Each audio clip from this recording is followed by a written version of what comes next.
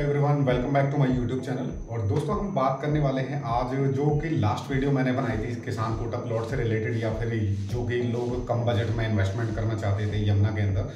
तो उन लोगों के लिए क्या ऑप्शन मैंने उस वीडियो में काफ़ी टाइम के आपको ऑप्शन बताए थे, जिसमें आपको किसान कोटा प्लॉट भी आपको बताया था, गाँव की आबादी में भी आपको इन्वेस्टमेंट बताया था। लेकिन आज की डेट में जिस हिसाब से मार्केट की सिचुएशन है, उस हिसाब से अगर देखा जाए तो मैंने लास्ट वीडियो में भी आपको बताया था कि मार्केट रेट जो वो डाउन होगा। क्योंकि मैं आपको पूरी मार्केट का सिनेरियो बिल्कुल अंदर तक की रिपोर्ट आपको बताता हूँ। क्योंकि उस टाइम पे, जिस टाइम पे मैंने आपको बताया था कि रेट इतना हाई जा रहा है तो अभी आप थोड़ा सा इंतज़ार कर लीजिए। आपका कहीं ना कहीं एक से डेढ़ महीने में अगर आप इंतज़ार किया होगा आपने तो आज की डेट में सिचुएशन वो बन चुकी है कि जो लास्ट वीडियो अगर मैं कंपेरिजन करूँ तो उस हिसाब से आज के डेट में कम से कम 25 से 30 लाख रुपये का डाउनफॉल आ चुका है।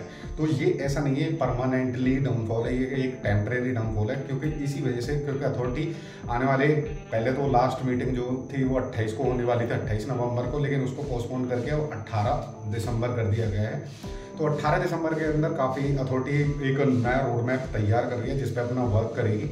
और आने वाले टाइम में जिस हिसाब से यहाँ पे रेजिडेंशियल स्कीम भी आएँगी कॉमर्शियल भी आएँगी, और काफ़ी टाइप की प्रॉपर्टी अभी अथॉरिटी प्लान करके जो कि लेकर के आनी है। क्योंकि आपको पता है अथॉरिटी को ऑलमोस्ट ये तो पूरी कैलकुलेशन पता है कि भाई डिमांड तो इस एरिया में काफ़ी ज़्यादा है, क्योंकि एक प्लॉट को खरीदने के लिए कम से कम एक हज़ार लोग लाइन में हैं। तो इन्वेस्टमेंट इन्वेस्टर की तो कोई दिक्कत है ही नहीं। लेकिन फ़र्क अभी यहाँ पर ये आ जाता है कि अभी जैसे अथॉरिटी का रेट जो है, वो चौबीस हज़ार छः सौ का रेट पे अलॉटमेंट करी जा रही है।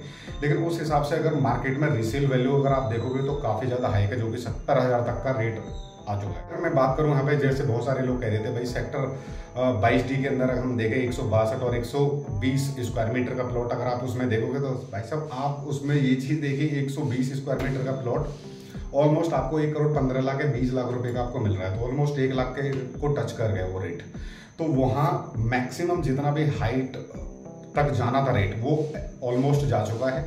और आने वाले टाइम में जैसे जैसे नई स्कीमें आएँगी, एक स्टेबिलिटी बन जाएगी, उस पर ऐसा नहीं है कि वो कम हो जाएगा या फिर बिल्कुल नीचे आ जाएगा।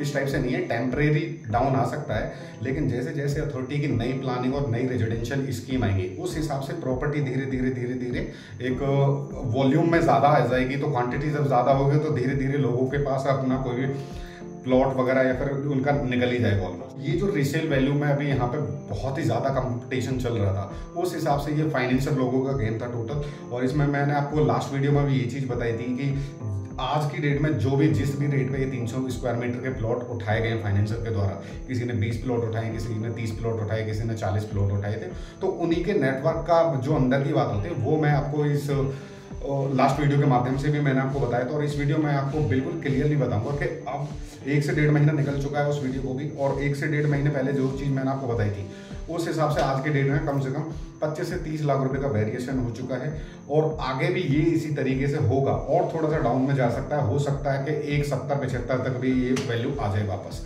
लेकिन रीज़न क्या है? रीज़न ये है कि सपोज़ करो, अपना जो भी फाइनेंसर होगा, उसने जितनी भी टाइम ड्यूरेशन के हिसाब से अपनी डील उठाई होगी। तो तीन महीने, ढाई महीने या मैक्सिमम साढ़े तीन महीने, चार महीने मैक्सिमम इतना ही उठाया होगा।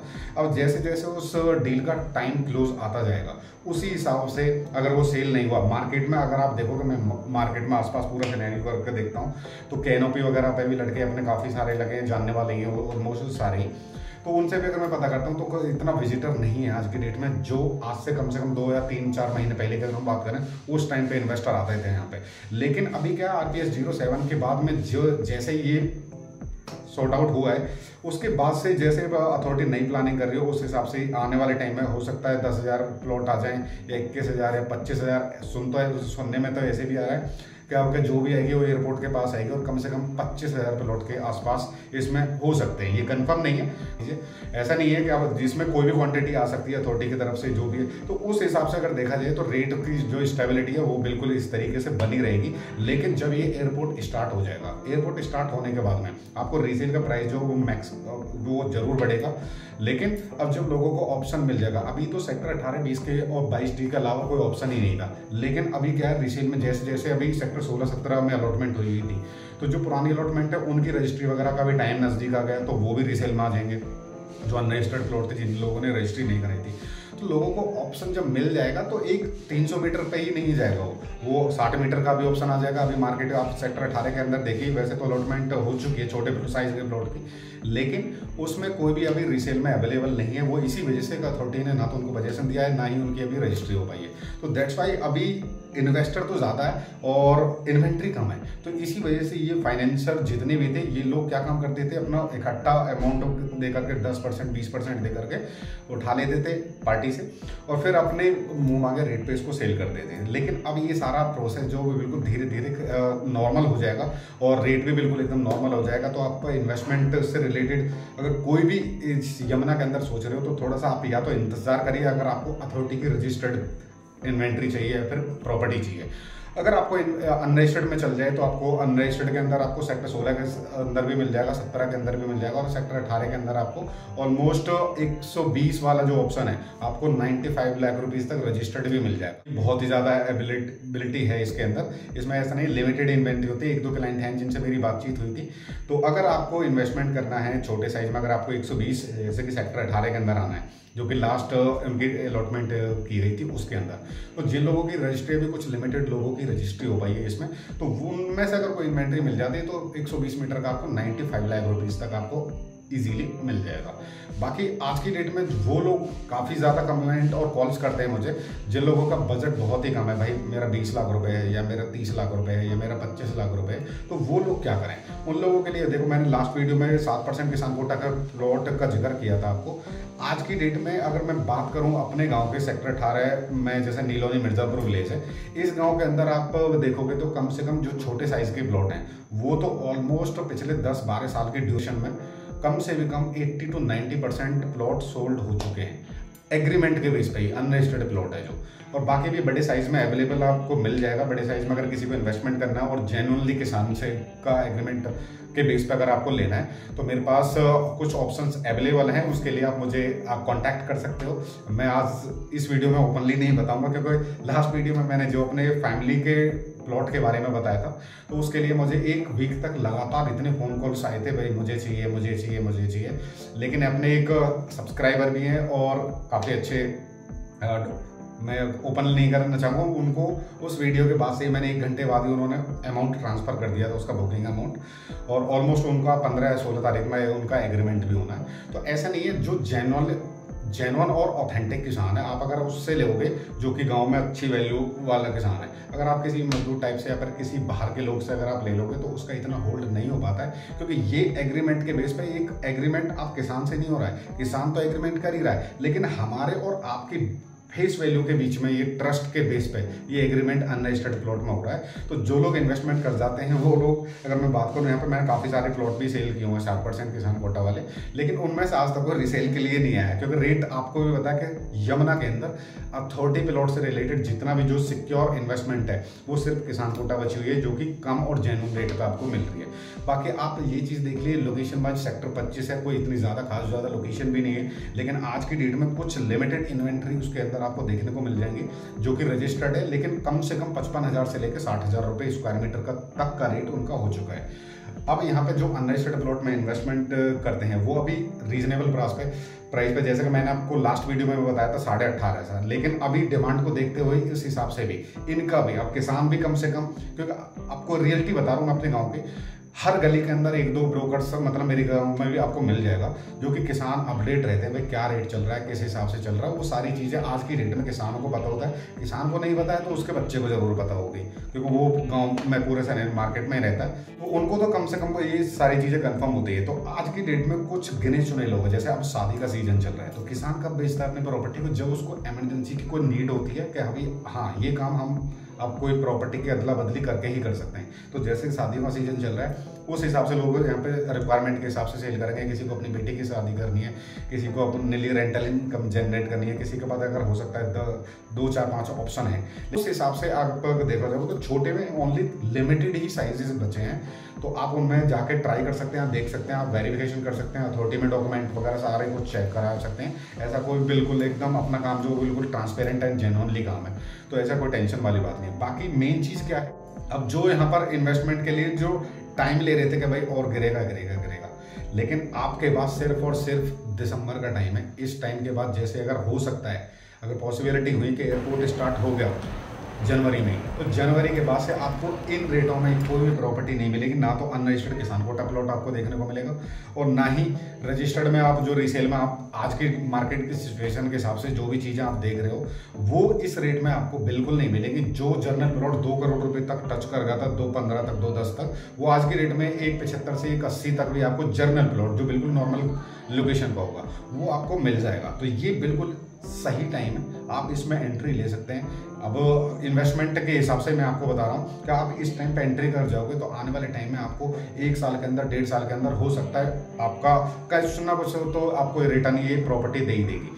बाकी जो लोग यही चाहते हैं कि भाई हम सिर्फ़ अथॉरिटी के अलॉटमेंट का ही इंतज़ार करेंगे तो उन लोगों के लिए मैं आपको बता देता हूँ, अट्ठारह दिसंबर को एक अपडेट आने वाली अथॉरिटी पर। बोर्ड बैठक मीटिंग है, जिसमें आपको हो सकता है एक नई स्कीम के बारे में भी एक अपडेट आ जाए तो उसके लिए भी आप इंतज़ार कर सकते हो। तो ऐसा कुछ नहीं है। आने वाले टाइम में यहाँ पे अब यमुना प्राधिकरण काफ़ी ज़्यादा स्कीमें लेकर के आएगी तो आप उस हिसाब से भी इंतज़ार कर रहे हैं। अगर वो निकल जाता है तो भाई भगवान से शुक्र करना कि आपने बहुत अच्छे कर्म किए होंगे, तभी आपको एक प्लॉट मिल गया।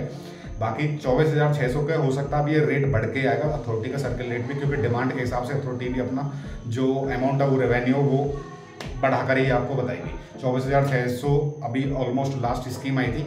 और हो सकता है आने वाले टाइम में हो पच्चीस प्लस ही होगा ये। जैसे कि हो सकता है तीस हज़ार रुपये स्क्वायर मीटर के हिसाब से भी अथॉरिटी का रेट हो सकता है। तो इस पर भी अथॉरिटी विचार कर रही है कि अब हमें कितने रीजनेबल प्राइस में ये प्रॉपर्टी देनी है। तो आप इंतज़ार कर सकते हैं। कि अगर रिसेल में अब करंट में आपके पास पैसा है और इन्वेस्टमेंट करना चाहते हो तो ये बहुत बढ़िया टाइम है। आप चाहे 300 मीटर का लो, चाहे 500 मीटर का लो, चाहे हज़ार मीटर 2000 मीटर 4000 मीटर, या फिर 120 से या एक मीटर। 120 और एक मीटर में ज़्यादातर मुझे क्वेश्चन करते हैं कि भाई, एक करोड़ बीस लाख रुपए अगर इसका प्राइस हो गया तो आगे की क्या वैल्यू रहेगी?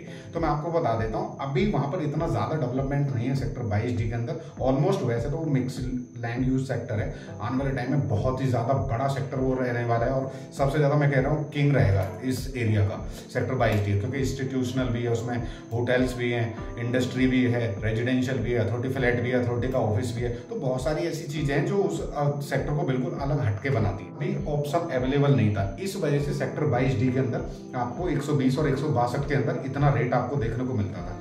लेकिन अभी सेक्टर सत्रह ऑलमोस्ट वहाँ पे रजिस्ट्री वगैरह हो चुके हैं तो वहाँ पे भी इन्वेंट्री अवेलेबल हो चुकी है। सेक्टर अठारह के अंदर भी जो छोटे साइज़ के प्लॉट है, वो भी अभी मार्केट में आ जाएँगे कुछ दिन बाद। ही तो जब बहुत सारे ऑप्शन आ जाएँगे तो उस रेट में कोई नहीं लेगा। जिस जिस रेट में अगर सपोज़ करो एक पंद्रह और एक बीस तक, आज के डेट में आप इन्वेस्टमेंट कर रहे हो एक सौ बीस के में, और हो सकता है दो महीने, तीन महीने, चार महीने बाद आपको रजिस्टर्ड प्लॉट भी मार्केट में मिल जाए, जो कि नब्बे से पचानवे लाख रुपए में आपको देखने को मिल जाएगा लोकेशन वाइज तो दोस्तों, मेरा कहना बस आपसे यही है कि अगर आप इन्वेस्टमेंट करना चाहते हैं, अगर आप अथॉरिटी की अलॉटमेंट का वेट करते हैं तो 18 तारीख के बाद आप अपना डिसीज़न लें कि भाई हमें इन्वेस्टमेंट करना है नहीं करना है। बाकी अगर रिसेल में आपको लगता है कि भाई हमारा तो निकलेगा ही नहीं, हमने कई बार ट्राई कर लिया, और अब तो कोई ऑप्शन ही नहीं बचा है कि निकलेगा ही नहीं। तो उस हिसाब से अगर देखा जाए तो रिसेल में आज की डेट में एंट्री करने का बहुत अच्छा टाइम है। इस हिसाब से आज एंट्री कर जाओगे तो आपको 2024 के एंड आते आते कम से कम 300 मीटर पे एक करोड़, यानी कि तीन करोड़ के टच में तो आ ही जाएगा ये प्लॉट ये गारंटी है। क्योंकि देखो ऑलमोस्ट अगर मैं बात करूँ, यहाँ पर मनीष अरोरा जी ने भी काफ़ी सारी अपडेट दी होगी। मैं उनकी वीडियोस वगैरह भी देखता रहता हूँ। आजकल काफ़ी ज़्यादा मेहनत भी कर रहे हैं मेरी एबसेंट होने की वजह से। तो मैं थोड़ा सा इस वजह से बिज़ी चल रहा था कि घर पे थोड़ा सा कंस्ट्रक्शन का काम चल रहा था तो इसी वजह से कहीं ना कहीं बिज़ी शेड्यूल रहता था तो कोई भी अपडेट नहीं आ रही थी। लेकिन मैं अपनी फैमिली के लिए बेहतर से बेहतर ऑप्शन आपके लिए बताता रहूँगा, और आप इन्वेस्टमेंट से रिलेटेड आप कोई भी इंक्वायरी करना चाहते हो तो आप डेफिनेटली मुझे कॉल कर सकते हो, और इंक्वायरी कर सकते हो। किसी भी टाइप की प्रॉपर्टी है, चाहे आपका पंद्रह लाख रुपए का भी बजट है। अगर पंद्रह लाख रुपए का भी बजट है ना तो आपको एक सिक्योरली आपको इन्वेस्टमेंट में आपको बता सकता हूँ। जो कि मैंने आपको बताया अनरजिस्टर्ड प्लॉट में ये किसान का जो एग्रीमेंट होता है, ये हमारे और आपकी फेस वैल्यू को होता है। इन्वेस्टमेंट करना चाहते हैं तो डेफिनेटली आप, इस टाइम पे आप एंट्री ले सकते हैं। लास्ट दिसंबर है। दिसंबर के अंदर आप चाहे किसान कोटा प्लॉट में आप इन्वेस्ट इन्वेस्टमेंट करो, चाहे अथॉरिटी प्लॉट में करो, चाहे आबादी में करो, आप किसी भी टाइप की प्रॉपर्टी में अगर इन्वेस्टमेंट करो तो सिर्फ़ ये लास्ट मंथ है आपके पास। इसके बाद आपको बिल्कुल भी ये रेट नहीं मिलेगा। अगर आपको थोड़ा बहुत भी एप्रिसिएशन आपको लगता है कि साल या छः महीने के अंदर ही मुझे होल्ड करनी है प्रॉपर्टी तो आप इस टाइम पे आप एंट्री कर लीजिए और एक साल बाद भी एग्जिट करोगे तो अच्छा खासा प्रॉफिट आपको या रेवेन्यू यहाँ पे बना सकते हैं का मेनली यही था कि लास्ट वीडियो को काफ़ी ज़्यादा सपोर्ट भी किया था। इनफैक्ट जितनी भी मैंने प्लॉट उस टाइम पे बताती है ऑलमोस्ट विद इन वीक ही सोल्ड हो गए थे वो। तो बाकी अगर आप इसमें इन्वेस्टमेंट करना चाहते हैं तो आप मुझे कांटेक्ट कर सकते हैं और इंक्वायरी कर सकते हैं। आज की वीडियो में बस इतना ही है। मिलते हैं, क्योंकि एक अवेयरनेस ज़रूरी है। आज की डेट में, क्योंकि मुझे नहीं लगता इससे जेनुअनली आपको कोई ये सारी ही चीज़ें बताएगा, क्योंकि मैं कोई इतना बड़ा फाइनेंशियल भी नहीं हूँ कि भाई मैं अपना पैसा लगा के, अपना डील उठा के मैं आपको उस रेट में बता रहा हूँ। मैं कोशिश करता हूँ ज़्यादातर अपने पार्टी से ही आपको डील कराने की। अपना तो वन परसेंट कमीशन पे मैंने ऑलमोस्ट जितने भी यमुना के अंदर डील करी है, कोई भी ऐसा नहीं है कि भाई मैंने फाइनेंसर के तौर पर ही उसको दे दिया या फिर फाइनेंसर से दिलवा दिया ज़्यादातर लिमिटेड काम किया मैंने और direct party to party meeting किया अपना वन परसेंट कमीशन के साथ में। तो दोस्तों, अगर आपको इन्वेस्टमेंट करना है तो आप डेफिनेटली मुझे कॉल कर सकते हैं और इन्वेस्टमेंट के लिए आप इंक्वायरी कर सकते हैं। आज की वीडियो में बस इतना ही, मिलते हैं नेक्स्ट वीडियो में। इनफैक्ट आपको हो सकता है वीक में एक से दो दिन तो ज़रूरी मिलेंगे हम और आप। मिलते हैं नेक्स्ट वीडियो में. Thank you so much